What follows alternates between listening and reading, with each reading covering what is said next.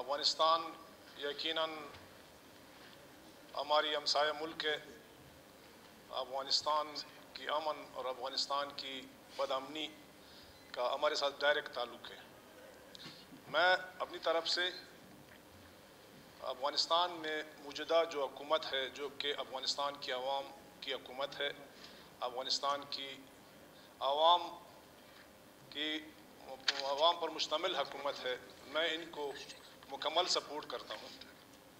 और साथ साथ मैं आलमी बरदरी से यह अपील करता हूँ कि अफ़गानिस्तान की मौजूदा जो हुकूमत है, जो कि अफ़गानिस्तान की आवाम की हकूमत है और अफ़गान आवाम की मर्ज़ी से बनी हुई एक हकूमत है इनको तस्लीम न करना एक सवालिया निशान बन जाता है। वहाँ पर यकीन अभी यहाँ पर दोस्तों ने बहुत से बातें की। हमारी आलमी बरदरी की भी बातें हुई कि आलमी बरदरी को जो है वहाँ अफगान अफगान आवाम की हकूक़ की फ़िक्र है। और अफगान आवाम की अभी बनी हुई हकूमत जो है वो इंसानी हकूक़ की खिलाफ वर्जी कर रहे हैं। मैं कहता हूँ कि जहाँ पर जो भी हकूमत आवाम की मर्ज़ी से बने, उसमें मुदाखलत नहीं होनी चाहिए। यही आलमी बरदरी को कश्मीर याद नहीं है। वहाँ पर कश्मीरियों पर क्या गुज़र रहा है? वहाँ पर कई दाइयों से इंसानी हकूक़ की खिलाफ वर्जी हो रही है। तो आलमी बरदरी इस पर खामोश तमाशाई बनी हुई है। इसी तरह फ़लस्तीन पर जो कुछ गुज़र रहा है, मेरे ख़्याल में आलमी बरदरी भी इसमें कोई एक परीक का किरदार अदा कर रहे हैं। कर उनको एक गैर जानबदार किरदार अदा करते हुए अफ़गानिस्तान की मौजूदा हुकूमत को बिलपोर तस्लीम करना चाहिए। जनाब स्पीकर, यहाँ पर बातें बहुत हुई। यकीनन अफ़गानिस्तान हमारी हमसाया मुल्क है। अफ़गानिस्तान के साथ हमारी कोई ढाई हज़ार किलोमीटर बॉर्डर है और बहुत सी कौमें इस तरह है जो अफ़गानिस्तान में आबाद है, वो पाकिस्तान के अंदर भी आबाद है। हमारी रिश्तेदारियाँ हैं, हमारे ताल्लुक़ है कई अरसे से अभी से नहीं।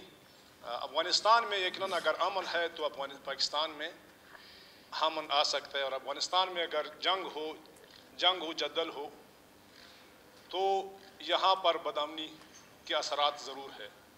जनाब स्पीकर, मुदाखलत की बात होती है, ये फोरम है, ज़ाहिर सी बात है, हर किसी का अपना पॉइंट ऑफ़ व्यू है, हर पार्टी का अपना अपना पॉलिसी है।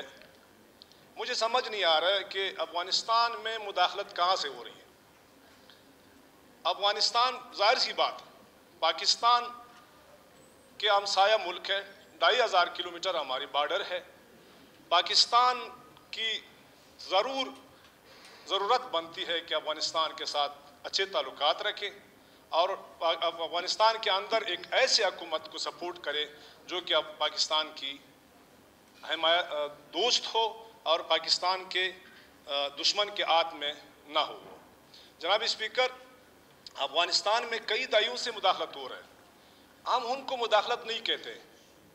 पच्चीस हज़ार किलोमीटर दूर अमेरिका अपने दुनिया जहान के दोस्तों के साथ आके यहाँ पे मुदाखलत करते हैं। हम इनको मुदाखलत नहीं कहते।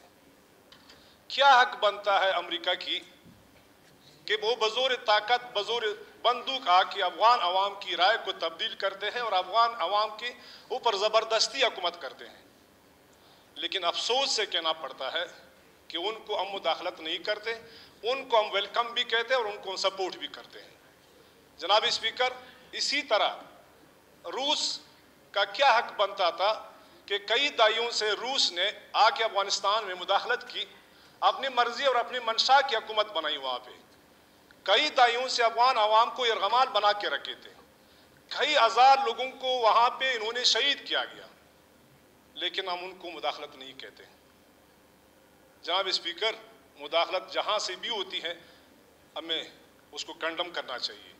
लेकिन हमें ज़रूरत है पाकिस्तान की अमन, अफ़गानिस्तान की अमन से जुड़ा हुआ है।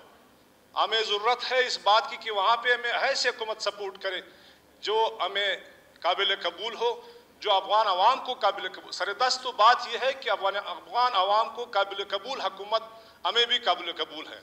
मौजूदा जो भी हकूमत है, जिसकी भी है, जिस नज़रिए पर भी बना हुआ है, अफगान अवाम ने उसको वेलकम कहा।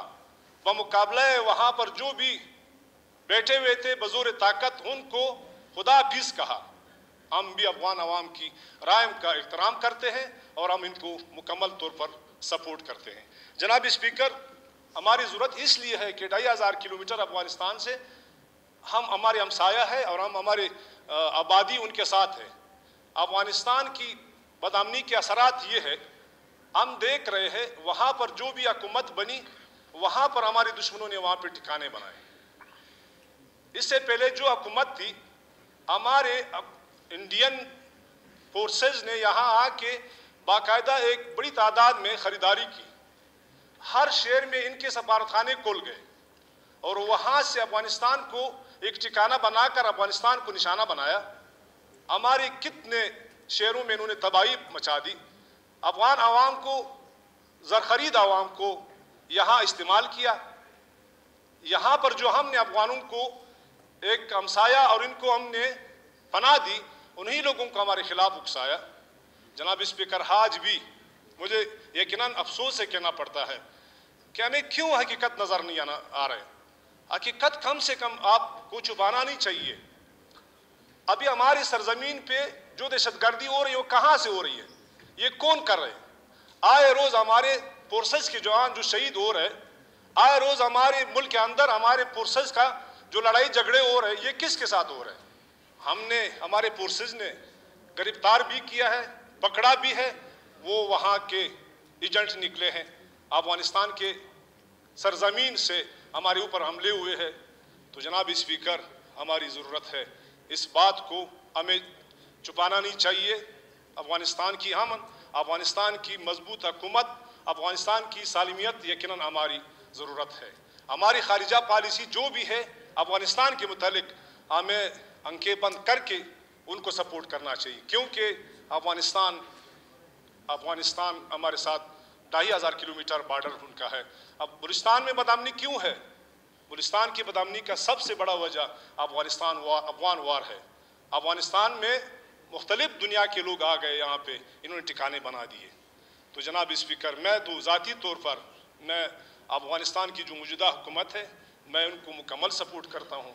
और साथ साथ दुनिया के आलमी बरदरी से मेरी अपील है कि बेला तखिर अफ़गानिस्तान की मौजूदा हुकूमत को तस्लीम करे और अफ़गानिस्तान अफगान अवाम पर आज कल जो गुजर रहा है और इनको जो सज़ा दिया जा रहा है, ये सज़ा नहीं देनी चाहिए। और साथ साथ अमेरिका, जो कि आलमी अपने आप को इंसानियत के अलमबरदार कहते हैं, अफगान आवाम की एक राइट है। इनके नाम पे दुनिया ने हमदर्दी के तौर पर एक फंड इकट्ठा किया। इन्होंने इस फंड को फ्रीज किया मुंजमद किया और साथ साथ उन लोगों को की हौसला अफजाई के लिए खर्च किया जो अफगान वार में शहीद हुए थे लेकिन ये काबिल मजम्मत है। ये मेरे ख्याल में नहीं होना चाहिए। मेरी अपील है कि दुनिया की मीडिया से दुनिया से कि अमेरिका को ये फंड बिलपोर अफगान अवाम की पलाव बेबूद के लिए और इनकी आबादी के लिए बिलपोर रिलीज़ किया जाए।